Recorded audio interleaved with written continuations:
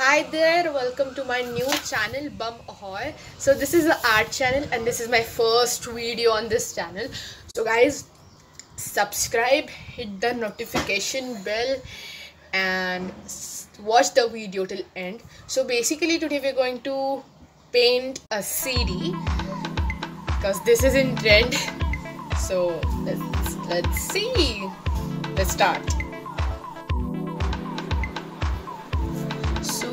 Can see I have painted the CD in two colors that is pink and purple so I have shaded them and I used poster colors to do this but you can also use acrylic colors because acrylic colors will fit more nicely on the CD and will look more good.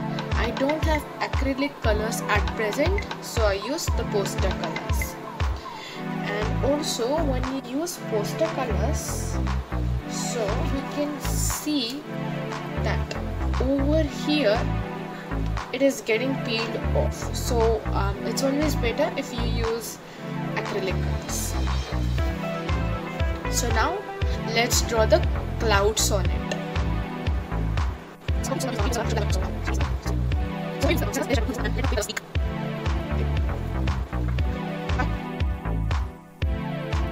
So I just finished with the plumage and now I'm going to draw stars in it. So I'm going to use um, a brush of size 0.2 or something for drawing the stars.